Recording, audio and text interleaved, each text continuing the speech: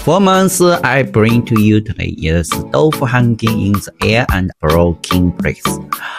Put a breaking on top of the tofu and smash the brick. Do you believe it? Okay, let's go!